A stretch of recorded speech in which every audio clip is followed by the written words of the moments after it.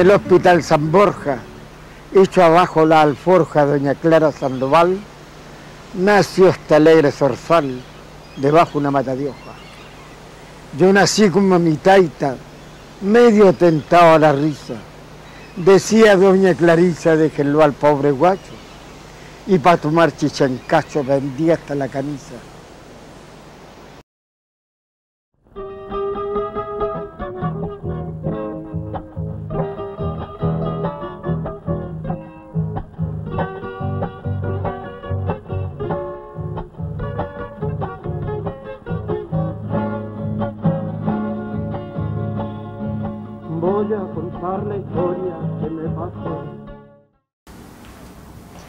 Bienvenidos a este conversatorio que está dedicado, como todo el festival en esta cuarta versión, a la figura y a la memoria de don Roberto Parra Sandoval con ocasión de su centenario.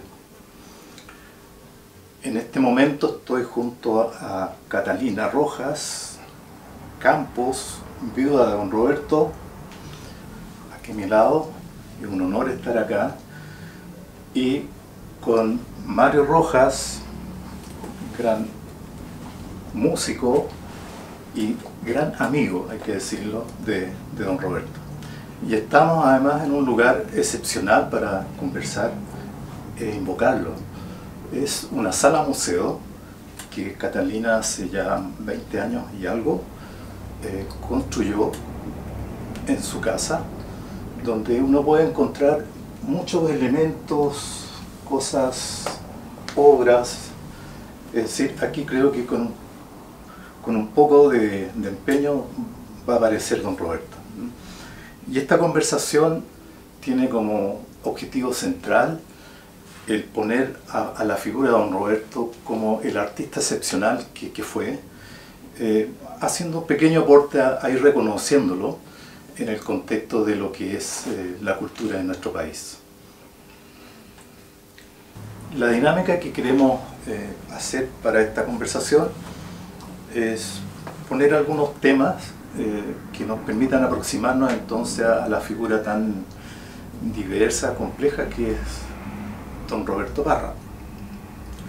En primer lugar, entonces, eh, les quisiera poner como tema a, a Catalina y a Mario eh, la figura de Roberto como músico, sobre todo como guitarrista. Sabemos todos que él fue un, guitarrista excepcional y hasta ahora está siendo reconocido como tal. Entonces, les dejo a ustedes la palabra si tienen algún comentario que nos puedan entregar sobre esta perspectiva de guitarrista y de músico de Roberto. Yo creo que eso se lograba eh, de puro ensayar. Él pasaba tocando a veces todo el día. A veces uno le decía que eh, vaya a almorzar, ay, ay, ay, ay. O si no, él pedía un tecito y tú le traías los tecitos, se los tomaba. Pero seguía, seguía.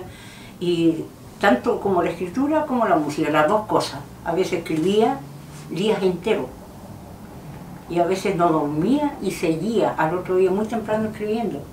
Me acuerdo cuando escribió el desquite, pero era impresionante porque estaba todo el día escribiendo. Me dijo, es que yo tengo que hacer una obra de teatro ahora, porque le da Esther como fueron décimas. Claro. Entonces la, eh, eh, una aproximación a, a una obra de teatro legal, además.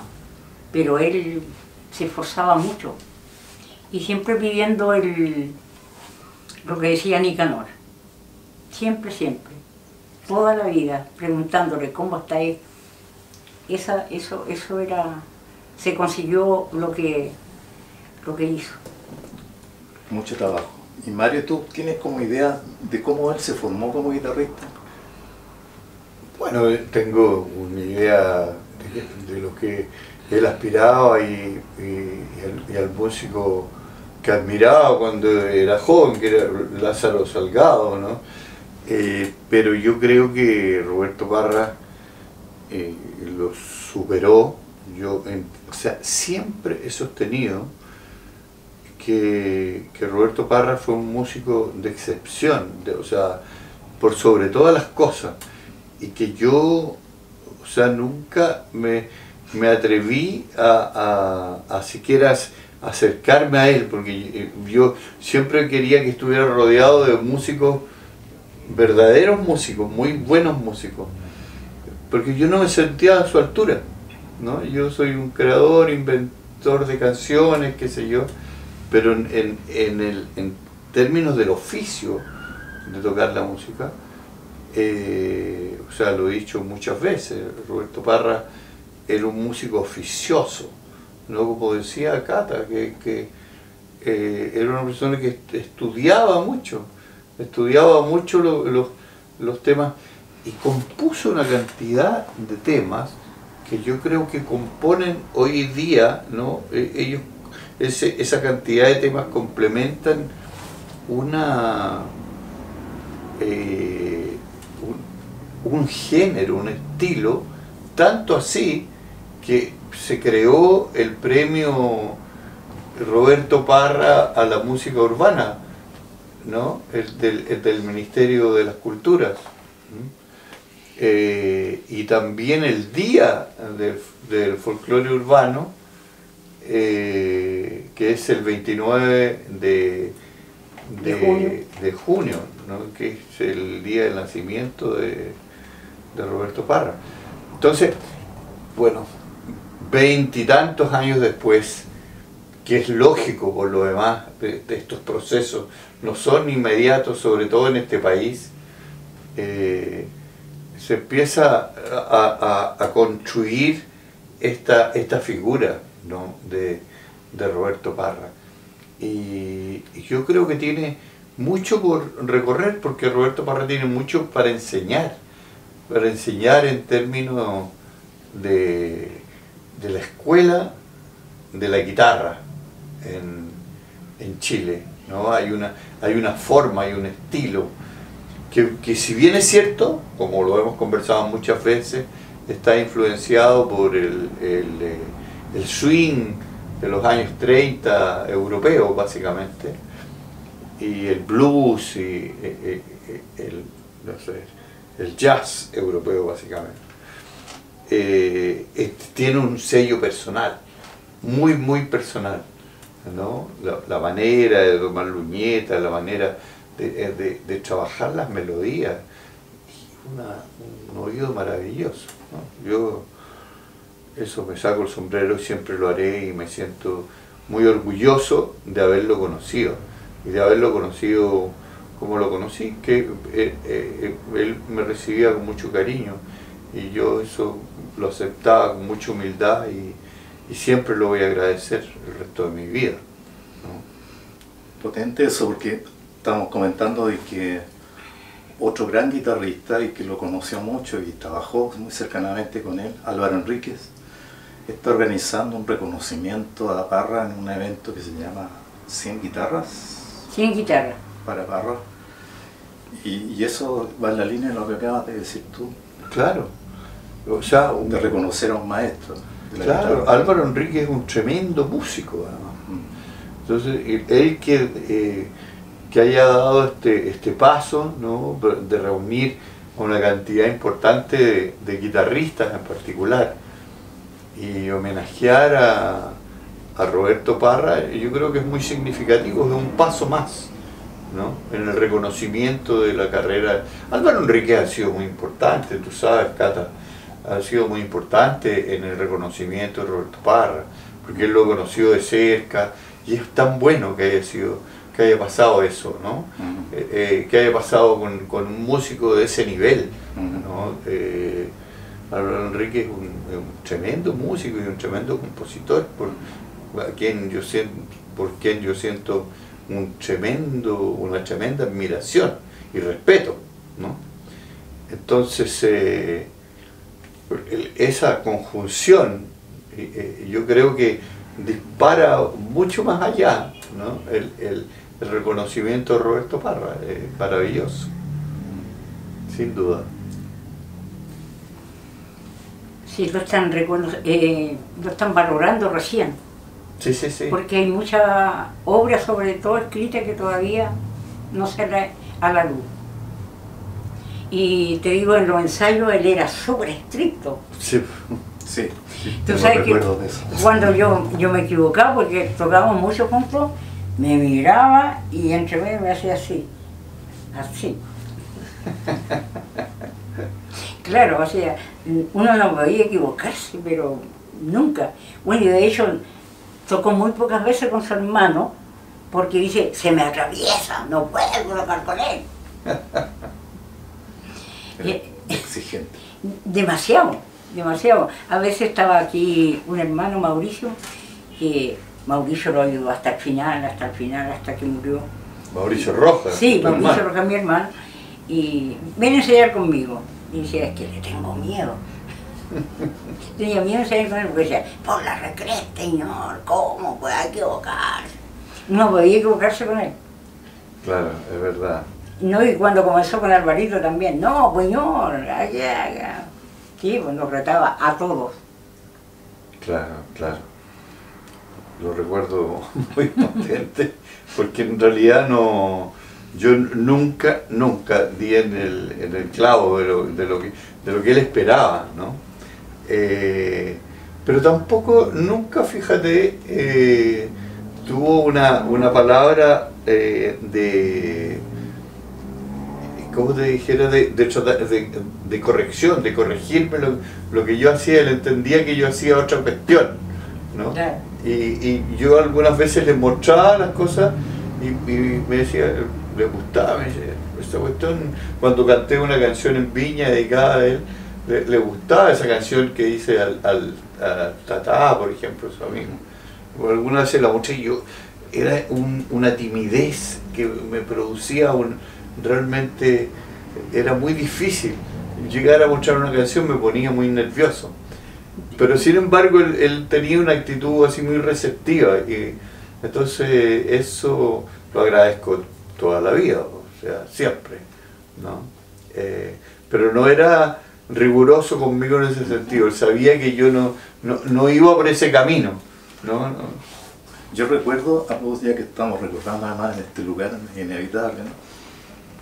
En enero del 1995 nos encontramos a ensayar con él en, en la facultad, Sí, en la sala de ópera, el Sí. sexto piso, que se conseguíamos, y él quería hacer un conjunto, o sea, hacer lo que hizo antes con guitarras nomás, con un conjunto, ¿no? piano, eh, trompeta, no, no, no, no se terminó ese trabajo. Pero ahí yo lo que recuerdo como una cuestión bien importante era que él tenía también una capacidad como de, siendo exigente como dice Cata, pero también de, de enseñar lo que él hacía. sí. Y, y en eso era tenía varias estrategias. ¿no? Eh, Es pero muy cierto. tenía esa cosa, ¿no? Por ejemplo, lo de la precisión rítmica, ¿no? Sí, eso era fundamental. que sin eso no, la cosa no funcionaba. Claro, ¿no? claro. El pulso que tenía para tocar. Sí. Además que él tocaba muy fuerte. Claro, era parte de la técnica, ¿no? Claro, claro.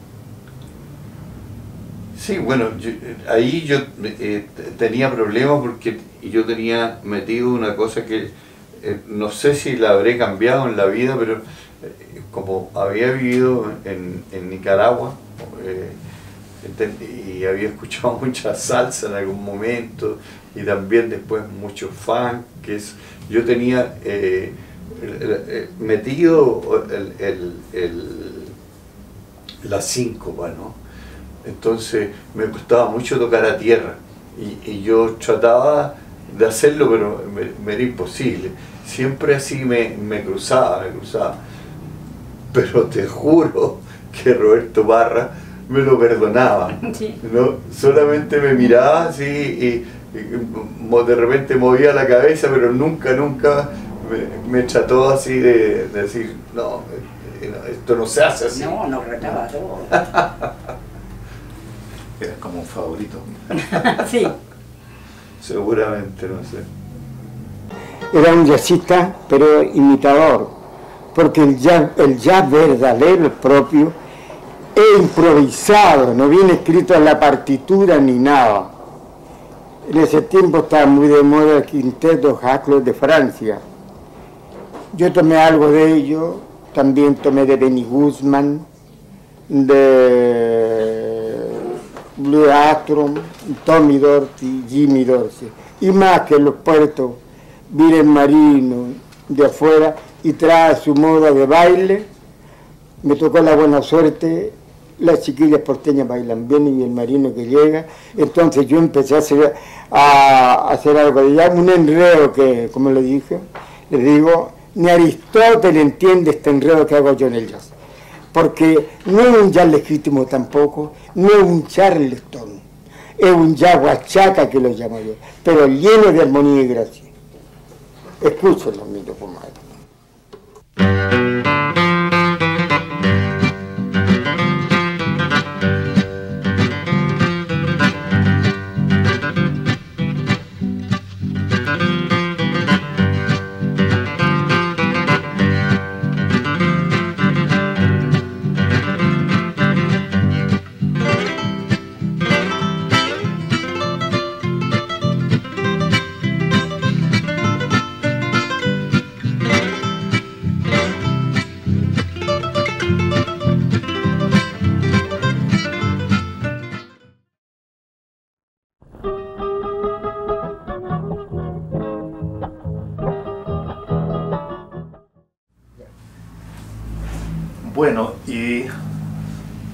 Esta otra dimensión que, no se puede separar. O sea, Roberto y la palabra era, era una actividad permanente, él era un creador permanente. Entonces, tú nos contabas hace poco cómo, cómo trabajaba él, ¿no? O sea, que a veces en momentos volcaba eso de una manera así impresionante. Y, y aprovechando este lugar, ¿no? que este es un lugar, una sala museo, eh, donde hay muchas cosas de él, ¿qué nos puedes decir de la obra escrita que dejó Roberto? Bueno, hay, de repente am- amanecía y decía, voy a contar una historia de cuando su viaje al sur.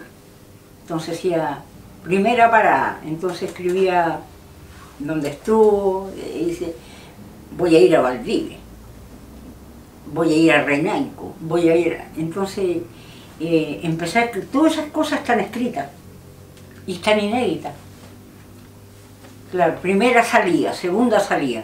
Y todas las historias que, que, que contaba, pero es que eran cosas increíbles. ¿Y esos son manuscritos que, que están Sí, en- sí, sí, no, yo ya los pasé, están, pero impresionante la- las cosas que él pasó. Pero era impresionante por decir que, le digo, dice que están tocando, dice, oye, vamos, Valdivia, vamos para allá, para, para atravesar el, río. Iban todos, todos tomados, todos. Y iban tan curados que se les cayó uno y volvieron sin él. Y no supieron nunca más de él. A mí esas cosas me impresionan. Pero no, no sé, yo después me fui por otro lado. Entonces era- eran cosas como demasiado fuertes. Pero él las tomaba y dijo, no, si a mí igual me da pena, pero ¿qué iba a hacer yo si iba a andar torranteando si no, no sabía de nada? Entonces esas cosas son, para mí son impresionantes. Y, y eso, pues la salida, segunda salida, tercera, tiene todo escrito, tiene todo ahí. Yo hice, tengo todas las cosas escritas de él. Hay unos cuadernos que están, hay varios, hay como 15 cuadernos que están sin, que yo lo he ojeado. Pero ojear los cuadernos, no sé si tú has visto un cuaderno de él, Sí. es que escribe todo junto. Entonces es súper difícil de trabajar ahí. Pero algo hemos hecho. Sí, pero bueno, en algún momento conversábamos con Rodrigo que me parece tan maravilloso esa, esa capacidad de, de volcar las ideas sin ningún eh, cortapiso, ¿no? O sea, sí, es muy difícil abrirse y, y empezar a narrar, como lo que hablábamos la otra vez de, de, de Encheluchi Cochayuyo, ¿no? que es un personaje que está contando su muerte, pero que, pero que de repente está vivo ¿no? Y, y entonces como que pasa a un plano un poco surrealista Mm. y, y- y de, de repente pasa por el cementerio, pasa por la ciudad, sube al infierno, o sea, baja al infierno, sube al Olimpo, dice. Eh, y, y entonces no se sabe si está vivo, está muerto, no se sabe si es irónico o es serio, ¿no? Entonces, eh, pero esa capacidad de sentarse y escribir sin parar, ¿no? Suelto, esa soltura. Yo creo que eso, eso es impresionante, eso no, no lo hace cualquiera. Muchos escritores de, de, de muchos laureles, ¿verdad? Quisieran tener esa capacidad. Eh, eso, Era un ser muy libre, Roberto. Un pajarito. ¿Cómo es? Cuando yo quedé embarazada y, y dije, uy, qué terrible, dijo, ¿qué vamos a hacer? Pero ¿cómo? Dijo, no voy a poder salir más para el sur. Eso era lo que más me impresionaba. Yo le dije, ¿se puede salir igual? No, ¿cómo voy a salir si hay una niña? Y yo tuve la, a la Lala en el Hospital Salvador. Allá la joven dijo, eh, la miraba y decía, ¿pero será verdad? ¿No será una muñeca? Yo decía, pero tómela. Era, era muy divertido. Era pero muy divertido algunas cosas. Pero le dije, pero ¿cómo tómela? No, dijo, no me atrevo. Al final la tomó. La dejó. Cata, ¿y cómo fue la relación de Roberto como padre así con sus hijas? También impresionante porque, porque pasaba contando la historia. Era un gran conversador. Claro, entonces le conté historia y la niña nació con una... No, dijo, decía, la historia que le contaba era pura mentira. Entonces decía, ¿cierto, gatita? Y yo me quedé callada porque decía que no era verdad. Entonces le metió muchas cosas, fantasiosas la, la niña mía porque tienen toda historia. No, si mi papi dijo que era verdad, no, si no era verdad. No, dijo, entonces le tenía un amor, pero demasiado. O sea, te digo, una, una de las niñas terminó el colegio y dijo, ah, voy a ir a trabajar a, una librería. Estuvo trabajando, te digo, un mes. Y dijo, ¿cuánto te pagan ahí? Dijo, me pagan 90 lucas. No, no hay más. Yo te las pago. Igual cuando tenían que ir al colegio, no, decía, está lloviendo muy fuerte, ¿cómo van a ir? Pero, no, no vayan, no, tienen que ir, no, ¿cómo van a ir? Pero, ¿cómo? Es terrible, yo, entonces no. Era, las tenía, las que quería tener así en un, en un globito, oh, que era muy divertido. Sí, porque así como se reconoce la tremenda calidad de- y el oficio de, de guitarrista, de músico de Roberto, o esta enorme capacidad y la libertad para crear, escribir y todo eso, yo también he escuchado, yo mismo lo resentí, que él era un ser de una ternura extraordinaria, ¿no? Un ser muy, de un trato realmente maravilloso en ese plano. Eh, que yo creo que tiene que ver con un perfil muy especial de él como persona. Era muy tierno con toda la gente, con todo el mundo. sí. Me acuerdo de un festival que hicieron allá en, en Los Salesianos, por la Gran Avenida. Puro grupo andino, te digo, año 80. Y había unos bien desafinados. Entonces todos decían, oh, ya están desafinados gallos, ¿cómo van a tocar? Dijo, no, chiquillos, tienen que ensayar más nomás, pero están bien, súper bien. O sea, los cabros se fueron, ¡ay, qué viejo más choro! se fueron recontentos. Pero eran cabros muy jóvenes, entonces a todo le da ánimo. No podía decirle, oye, no, ustedes tienen que hacer, eh, no, están con... No, sub- con todo, con todo el mundo. De verdad. Sí, con todo el mundo, no, no, eh, no, si ustedes tienen que seguir tocando, tienen que ensayar un poquito más. Sí, Eso sí, era sí. no. Claro, pero no, muchas anécdotas con él en todos lados. Fuimos a Argentina, yo tenía un hermano que era profesor en, la- Universidad de San Luis, en Argentina. Y nos llevó a tocar allá. Fuimos a tocar. Y lo llevaron a la radio. Yo, yo no creí, no, si usted está aquí, usted tiene también contar historias. Contar que al final dice, oye, no, que vaya él nomás, es bueno para hablar.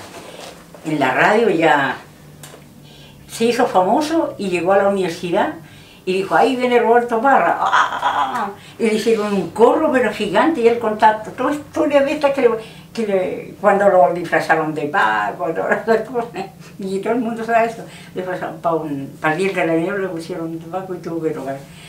Uy, pero se reían los cabros y decían, oye, tenemos que ir a almorzar. No, no, no, no, que siga. Decía, pero ¿cómo voy a seguir si tengo hambre? pero el- ahí en la Universidad de San Luis, pero fue pero lleno de gente, lleno de gente, pero era impresionante como, como hablaba con todo, lo lo veían para allá, lo veían para acá, y mi hermano decía, hoy nunca pensé que era tan bueno para hablar, para contar historias. Pero qué manera de contar historias, y todos los cabros universitarios, pero no eran 100, eran más, así un tremendo, tanto así. El arte de la palabra. Claro. Pero además él tenía un respeto casi religioso por Violeta, a quien siempre invocaba, y también por eh, esta relación tan notable con su hermano mayor, Nicanor. Su hermano padre. Claro. ¿Cómo, cómo lo veías tú, Cata, en eso de en su cotidiano? No, todo lo que decía Nicanor él lo hacía. Todo, todo. Bueno, y le- él le iba mostrando las cosas que hacía. Es verdad. Así que eso, eso, eso eh, de parte de Nicanor es muy, muy bonito. Muy solidario con él, muy, bueno, con toda la familia. Porque nosotros nos instalábamos en Isla Negra todo el verano. Pero todo el verano. Decía, usted, doña Cata, es la dueña de casa aquí.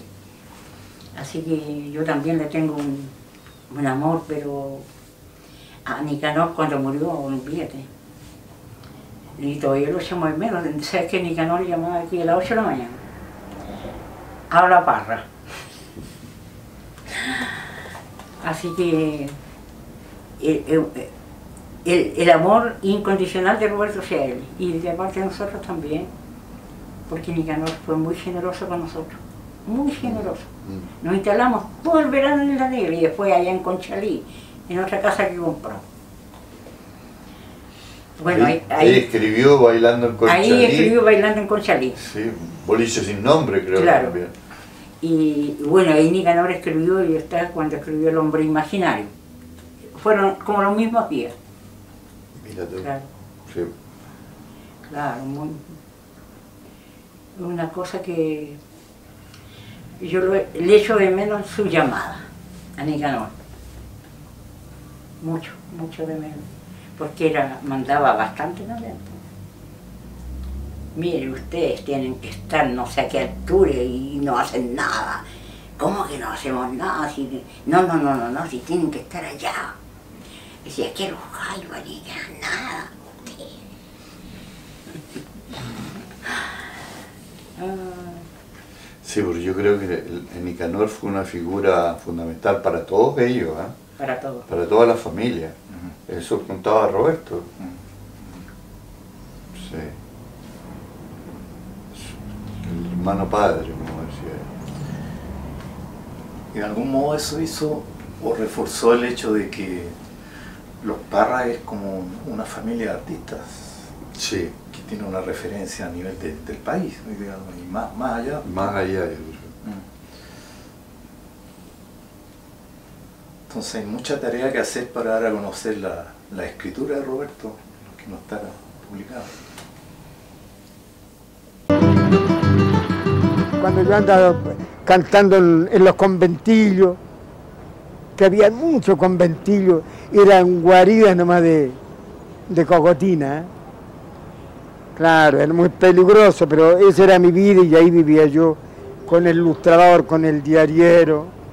Ahí conocí al escapero, sé lo que es el cocotero, sé lo que es, sé lo que es un monrero, sé lo que es la clase de patines, patines de medianoche patines primera, segunda, tercera. Ahí conocí todo eso. Y de ahí salieron todas mis cuecas choras, del bajo fondo.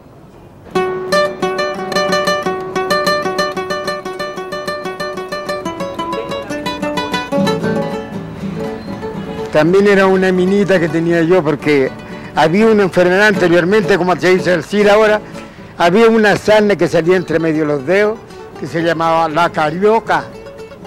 Entonces yo tenía una minita, tengo una mina en Mapocho, desarmada como paraguas, le pegaron la carioca y está como pera de agua. La llevé al San Luis a mi titina, le recetaron baño.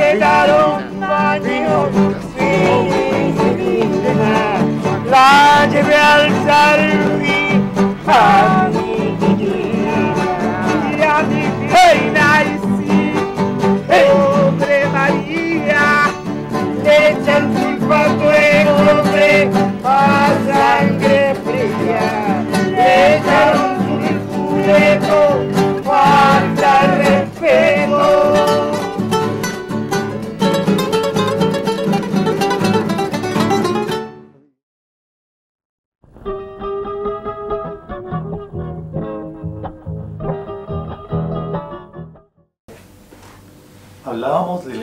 importancia eh, enorme que tuvo para Roberto la familia, la familia Parra, que con el tiempo se fue constituyendo una referencia de, de una familia artista.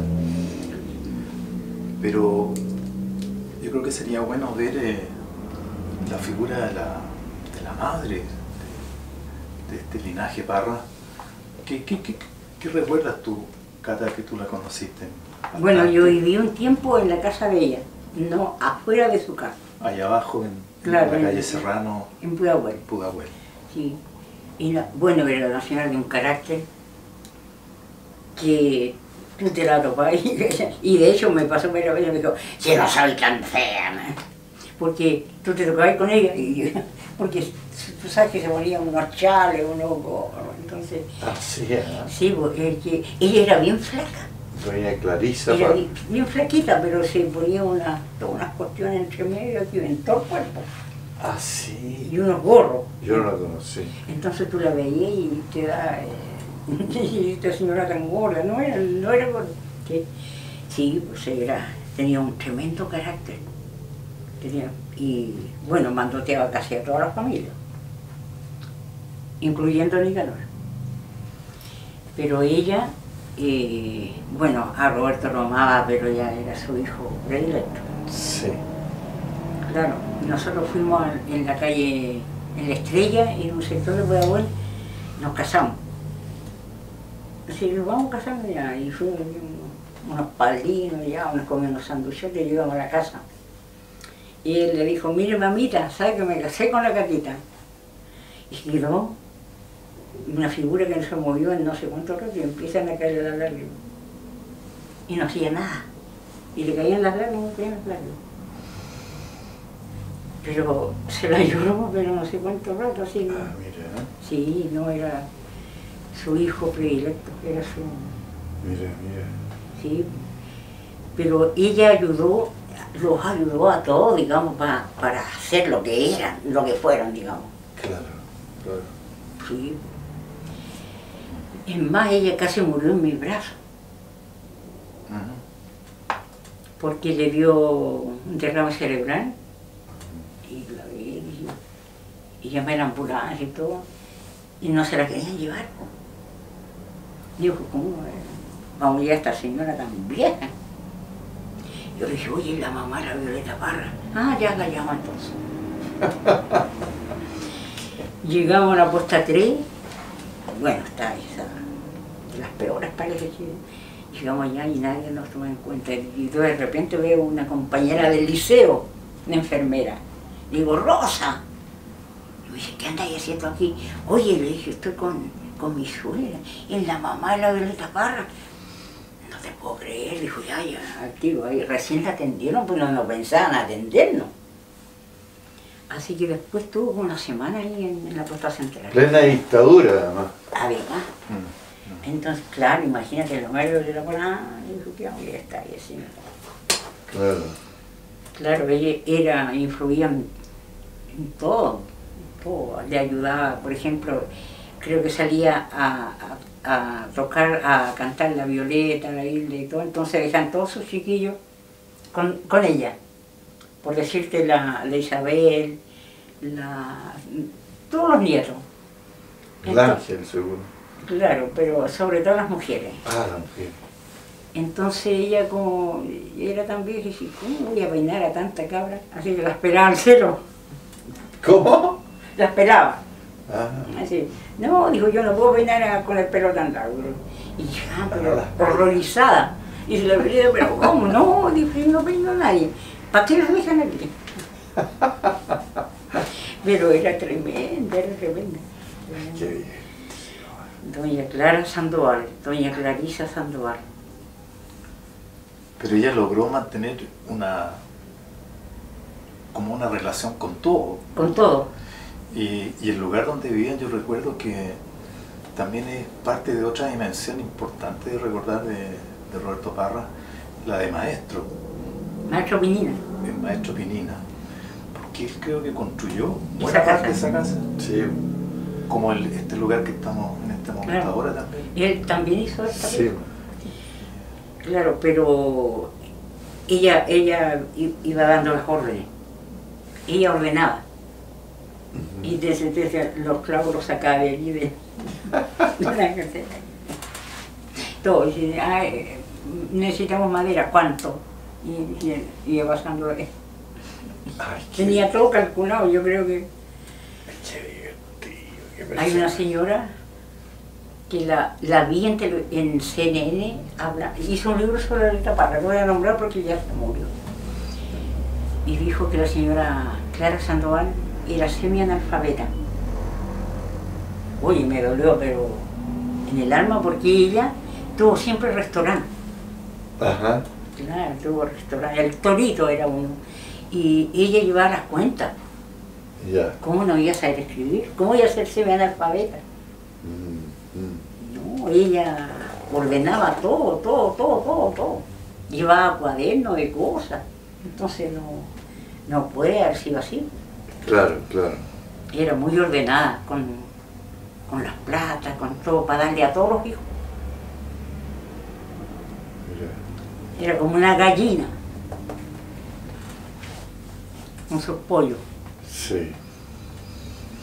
Sí, sí. Y, hartos pollos, porque eran varios hermanos, ¿no? Varios, todo. Hermano, hijo y nieto. Sí. Y en esta eh, familia grande, Roberto parece que tenía como, en, en el plano creativo, como relaciones muy importantes con, en algún momento con Violeta, ¿no? Que lo llevó a grabar, etc. Pero también con Nicanor. ¿Cómo, qué- qué recuerdas tú de esa relación? que eran muy amigos los tres. Siempre, siempre los tres. Se juntaban allá en la carpa o en la casa de Nicanor, pero siempre los tres. Mm. Bueno, cuando murió la Violeta, Roberto casi se volvió loco. Imagínate. Siempre la recordaba, ¿no? Toda la vida, Mm. todavía la viola, la viola.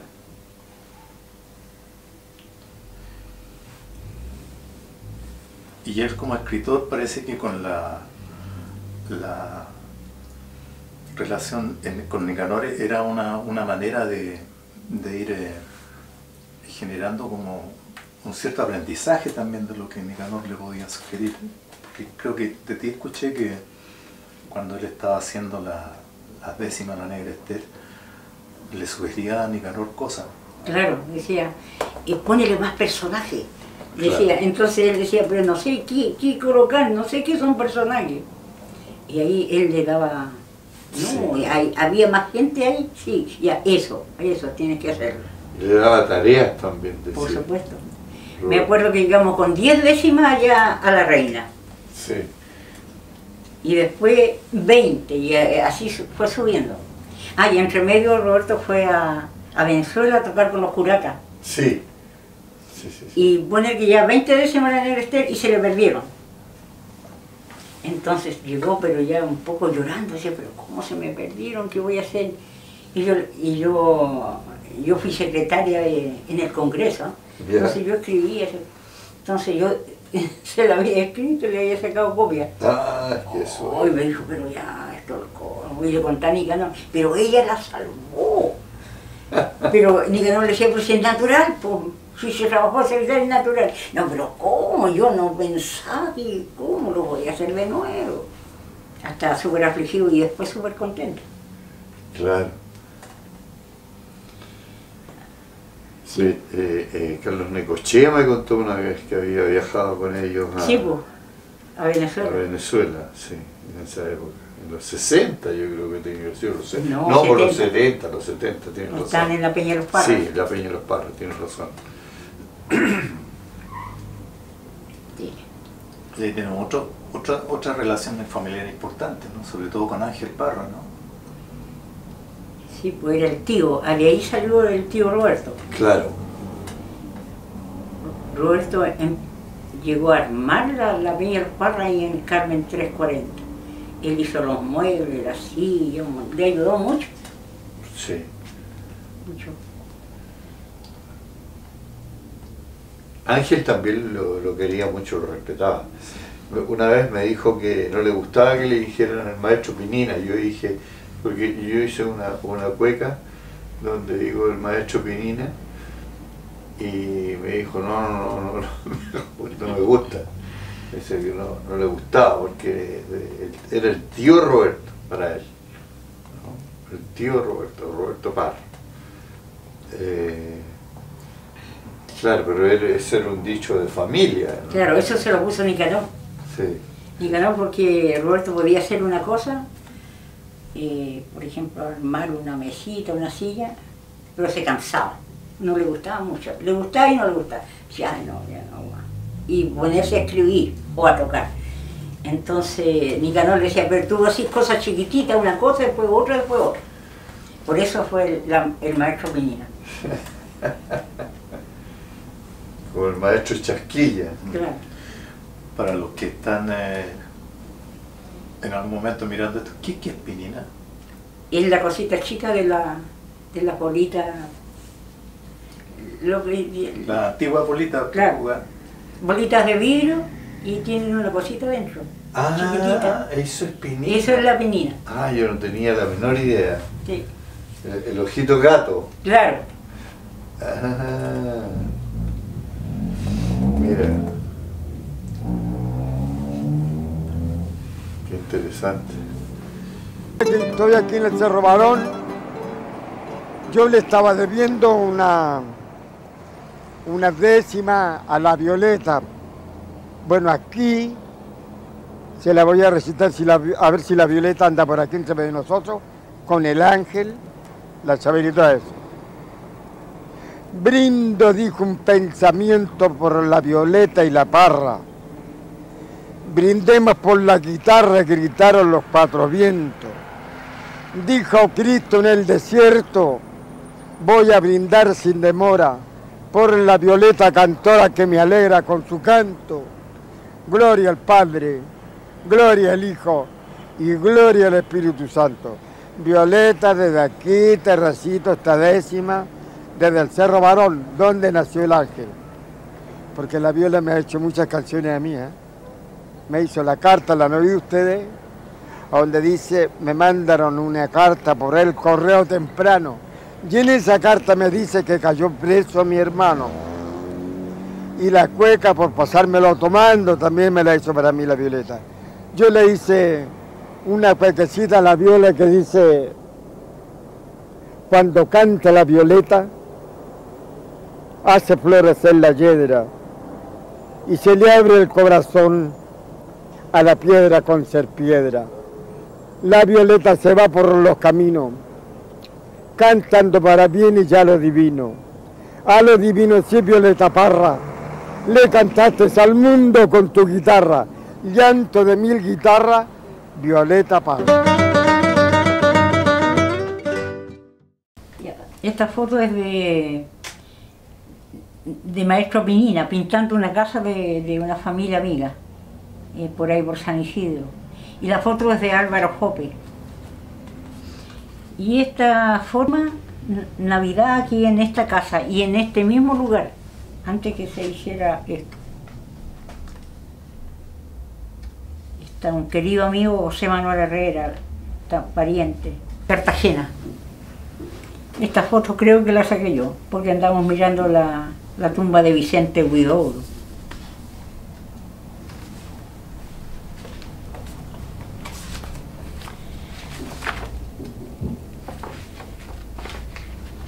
Esta foto es de Rodrigo Torres. Este poema es de Nicanor para la Negra Esther.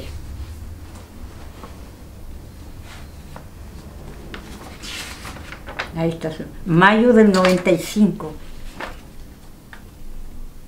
Ah, lo hizo después. Ah, ya. Aquí está con la violeta.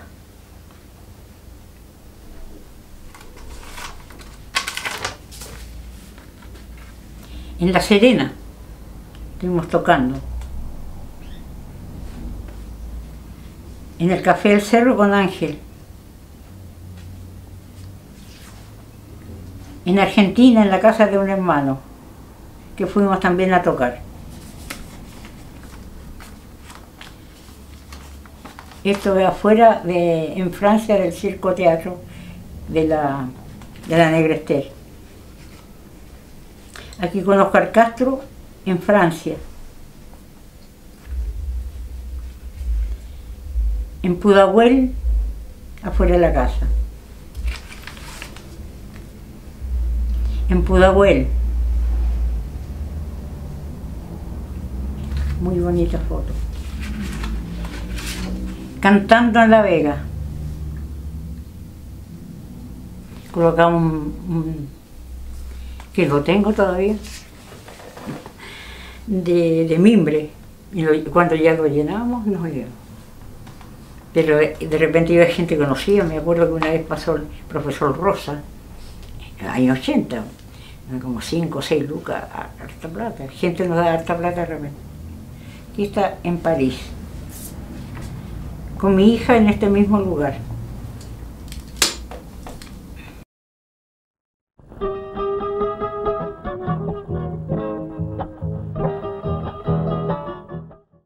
Hemos conversado sobre Roberto, su vida, su obra, su familia. Y a 100 años de su nacimiento eh, les quería poner el tema de cómo toda esa obra extraordinaria de Roberto Parra está proyectada hoy día en las generaciones más jóvenes, cómo las instituciones también comienzan a, reconocer la figura y el valor de la obra. ¿Cómo, cómo lo ven? Sí, hay varios grupos que tocan la música de Roberto Parra. Así es. Eh, jóvenes, ¿no? Muy jóvenes. Todos jóvenes. Hay un grupo que se llama De Perilla. que son buenísimos. La Nueva Imperial. Los Parecidos, que están medio... Sí, desaparecidos. en, en, el sur hay un grupo que se llama los Guariznaki. Y en... Gypsy Trio. Gypsy Trio. En San Antonio también hay un par de grupos, que no recuerdo su nombre. Claro, y, y músicos que se destacan, como Feliz, el Felipe Ortiz. la Feliz Ortiz. El Felipe Ortiz, que es un tremendo guitarrista que, que ha sacado toda la obra de Roberto en realidad. Eh, muy buen músico. Bueno, y naturalmente los, músicos famosos, pues, como los tres. Eh, yo creo que han sido clave en, influenciar a los grupos más jóvenes, que hoy día y, yo, eh, precisamente lo que te decía anteriormente, que yo siempre sentí que estaban naciendo, y lo digo en ese librillo, como que estaban haciendo un nuevo género de Roberto Parra. Porque es más allá del folclore urbano. El folclore urbano está compuesto de muchas cosas, se puede interpretar de muchas maneras, pero, pero hay un género en particular que define eh, la manera de tocar de Roberto Parra, que eso lo define. Y, Y esa es una escuela hoy día. Yo- a mí no me cabe duda que va a haber eh, una, un- una escuela Roberto Parra ¿no? de, eh, para enseñar la forma de tocar de, de Roberto. Y que es muy particular y muy de Chile y muy urbano también. Que no recoge solamente la creación de Roberto, sino que recoge temas eh, que en algún momento fueron eh, famosos, digamos, por- en la radio, radiotelefonía, pero que adquieren un nuevo valor al ser tocados por Roberto, como Mejillones, por ejemplo, Mi chica y yo, ¿no? que es una canción que canta la Julie Garland eh, una película y que tiene una versión de, de Roberto Parra. ¿no? Entonces, eh, ese estilo, ese estilo de tocar, que como bien decía la gatita, que era, un estudioso, trabajaba mucho, porque no es fácil. Y, y crear ese- esa, esa forma y, y con esa fuerza que tiene que ver con tocar acústico, ¿no? Cata, Por supuesto, ¿no? claro, con la guitarra parafina. Sí, como que no es la guitarra, hay que tocar fuerte y con la uñeta para abajo, siempre, ¿no? El alzapúa, como decían. ¿no? Pero yo creo que era también donde los locales que él tocaba. Sí. No tenía que tocar fuerte. hacerse escuchar. Claro. O sea, los músicos reconocen, los músicos jóvenes, empiezan en Roberto un, un referente. Y a nivel de las instituciones, hubo otro espacio. Porque hab- hablamos hace poco de lo que Álvaro Enríquez va a organizar próximamente en enero. Se, eh, se inaugura en Santiago Mil. Ese día se inaugura con el homenaje a Roberto. 100 guitarras para los 100 años de, de Roberto Parra, que es como la proyección de ese tremendo homenaje que, que hicieron en un momento en que los tres tenían una, una referencia a nivel continental, ¿no? Ese concierto de, En Miami, claro, en la Sí. Praga. Claro, Plague, en el Que- MTV, que, que- que produjo un impacto en la que cerró, muy- un grupo rockero cerró con Cueca y Claro. mi chica y yo. Primera vez. Mm. Sí, Ese es un gesto, muy, es un no, hito, muy, es un muy hito. importante. Pero también ese disco, eh, eh, eh, Roberto Parra Invocado, Y el que hicieron en 2008 fue eso, ¿no? Por ahí. por ahí yo 2009. creo. O sea, que imagínate, toca Cuturrufo, Es un disco extraordinario, en mi opinión. ese, de- sí. Panchito Cabrera, que él, él- él quería un homenaje a Roberto, eh, muy importante. sí. Mm. De allí en sacarlo nuevo se dijo. Sí, de Chile profundo. Eso, bueno, tan- tantos homenajes, pero eso va confluyendo, ¿no? Va Sí. confluyendo a, a- a- a- a co- a configurar el, el- el personaje. Pasó un fenómeno muy curioso con, con Roberto, fíjate, y yo te lo, bueno, lo pongo como tema de conversación, que Roberto no alcanzó a, a proyectar su figura, eh, si bien es cierto que La Negra Esther fue un impacto muy grande, y en los 60, principios de los 70, las cuecas choras de Roberto Parra, el tío Roberto, con ese disco, disco con El Ángel, y ese disco de folclore urbano que, que- que sacó eh, La EMI. la EMI, ¿no? Neuselle, Rubén Neuselle. ¿no? Rubén Neuselle. Eh, si bien es cierto que, que sucedieron esos hitos, eh, no, no alcanzó a ver el reconocimiento eh, de- en su persona porque falleció, ¿no? Falleció antes del desquite incluso, que llegó a ser una gran película. Y en ese proceso, eh, como el, apareció el tío Lalo Parra, que era su partner gen- generalmente en, en muchas Eran sí, y, y dos hermanos que se querían mucho y todo eso. Entonces eh, el tío Lalo también tocó el repertorio de Roberto, ¿no? Y to- entonces como que recibió todo, todo ese reconocimiento el tío Lalo. que, bueno, no, no es que fuera inmerecido de ninguna manera, porque él- eh, Mm. ellos eran muy cercanos, ¿no? Y todo eso.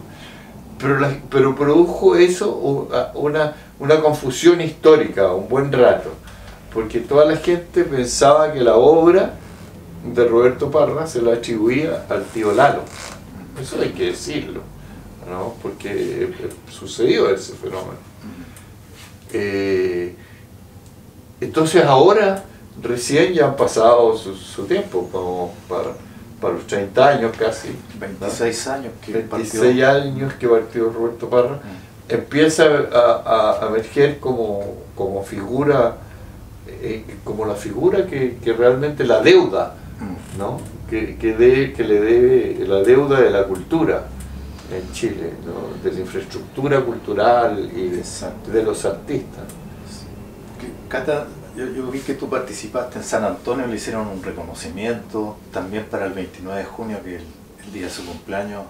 Hicieron un festival de cueca. Un calendario además, como que el día en que se conmemora a Roberto Parra por una figura. Eso me parece que sería bueno como tenerlo ahora como, como marco, ¿no? Claro. De que en estos momentos ya es bien auspicioso para entender que la proyección de la obra de Roberto Parra va a ser eh, más permanente. Pero fíjate, eh, yo te voy a decir una cosa, que el, el- hay, hay una tendencia, hay, eh, hay una mirada de, de no querer estancar la figura de Roberto Parra en San Antonio por el hito de la Negra ¿no? Entonces, por esa razón, el premio de el, el premio Roberto Parra al folclore urbano se va a hacer entrega en Chillán. Mira, Y es un premio, premio Es Roberto un Parra. premio Roberto Parra, es un premio en dinero y, y- y es, es al, al mejor grupo que toque en el estilo de Roberto Parra. ¿no? Es- eso nació este año. ¿no? Y eso del junio. ministerio. De- del Ministerio de las Culturas, las Artes y el Patrimonio. Entonces, en esa discusión, de la que yo formé parte también, eh, emergió esta idea de que eh, es, es- es situar a Roberto Parra en, en San Antonio, ¿no? es situarlo en la Negra Esther, que también es legítimo, porque fue, es una de sus obras más destacadas, Claro, muy no, importante. pero, pero también está el desquite, que también es importante, también está el golpe, ¿no? también está entre Luchi y Cochayuyo y, y un montón de, de material que, que creo está inédito incluso. Pero a mí siempre me pareció que Chillán debería ser eh, el, el- el lugar de, claro. porque de ahí donde viene eh, la familia, ¿no? Eh, de ahí donde nace este, todo este esta explosión de creatividad a la la verdad. Entonces el premio Roberto Parra se va a hacer en Chillán, no se va a hacer en San Antonio. Que la gente de San Antonio le tiene un No, cariño, yo lo sé, cariño especial y lo han tomado como el personaje de San Antonio. Decía, pero si Nerúa es de Isla Negra, ¿por qué Roberto Parra no es de San Antonio? Es verdad, es verdad. Ese, eh, la gente es puro cariño. Es, ver- es absolutamente así. Es absolutamente así. Sí, Pero interesante que, que, que, que no sea en Santiago todo y Claro. que esté pasando en Chillán, en San Claro, y debería ser, o sea, abrirse más incluso. Porque el patiperro que fue Roberto Parra, el bohemio, la cultura de la noche, que no, no Sí. alcanza a ser tan reconocida. Yo recuerdo que siempre se hablaba como murió la noche, bohemia, Claro. hace ya casi 50 años. Eh, es parte de una cultura que está muy asociada también a lo que hizo Rancagua y la Carmela Buena Gente. De veras, también. También pasó por Rancagua, también escribió un, un libro, La Carmela Buena Gente. Sí. O sea, Ro- Roberto el- el- el- es un permanente tránsito eh, eh, a través de Chile eh, en, en tren, ¿no? Claro, la itinerancia de Roberto Parra yo creo que es una cuestión extraordinaria y fascinante, ¿no? Como de alguien que pasó décadas como músico. Sí. Yo como soy de Lontué, de un tránsito. pueblo al lado de Curicó, había un señor que tocaba la trompeta en Curicó, se llama Roberto Cornejo. Me dijo, no, pero si por aquí pasó Roberto Parra, quedamos muy amigos, estuvimos en mi casa y todo. O sea, era conocido, Sí. De Puerto Montt a La Serena, por lo menos, ¿no? claro, Que sería como el tren imaginario de Nicanor Parra, ¿no? Claro, que Sí, Ah, sí. Bueno, o sea, en este momento del centenario de Roberto Parra, entonces podemos decir que empieza a reconocerse el valor de su, de su obra, ¿no? Sí, su figura. Y sobre todo esa, esa capacidad de estar eh, del Chile profundo, Sí. de un Chile que, que es muy intenso además, como él lo vivió. Creo que podemos ir cerrando esta conversación. Deberíamos haber hecho un salud por Roberto Ah. No, pero pero el boliche al lado entonces. Ah. ¿Quieren decir algo más? ¿Qué? Yo lo que podría decir que Roberto Parra cocinaba unas cazuelas increíbles. Porque cuando yo iba una vez me fuimos a comprar un pollito, qué sé yo, y se puso, y hizo una, una tremenda cazuela, dos veces. Eh, y me sorprendió porque yo no sé hacer ni, ni un huevo frito. Entonces pero no le gustaba mucho cocinar, te cocinaba a ti, ¿no? Ah, mira. Mira, ¿no? Se- aquí se está descubriendo este personaje. Ah, mira, mira, mira. No, no le gustaba cocinar, no. Era el favorito de Mario. Sí. Sí. Es que Roberto había conocido a mi papá cuando joven. Y, yo la primera vez que le dije mi nombre, él eh, me recibió con mucho cariño, fíjate, que muy, muy curioso. Y, nunca lo logré juntar porque mi papá se murió antes. Entonces me, me quedaron un par de anécdotas ahí, eh, medio en el aire que, que, Roberto me dijo la familia, porque vivían eh, eh, por ahí por Andes, Martínez Rosa, esas calles de, de Matucana, entonces se habían visto mucho de joven. Con mi tío, yo tenía un tío Roberto, todo eso. Entonces eh, había una, una cuestión, un vínculo de familia. Curioso eso. Sí. El querido Roberto Barra. Absolutamente. Querido y admirado. Sí. Bueno, creo que podemos ir despidiéndonos. Hemos estado recordando a- al querido y admirado Roberto Parra, que es la figura que, central de esta cuarta versión del Festival del Cantar Popular de la Universidad de Chile. Y creo que tenemos Roberto Parra para 100 años más, por lo menos. ¿no? Así es. Muchas gracias.